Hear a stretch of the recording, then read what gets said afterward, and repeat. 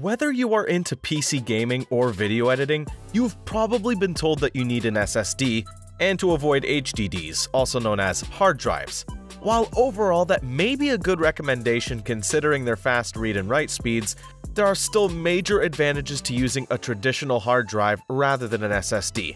The biggest one is price. As of writing this, near the end of 2022, if you were to spend $100 on an SSD, depending on the manufacturer, you could probably get about a terabyte or more of storage space. However, if you were to spend that same amount on a hard drive, there's a good chance you can get up to or more than 6 terabytes of space instead.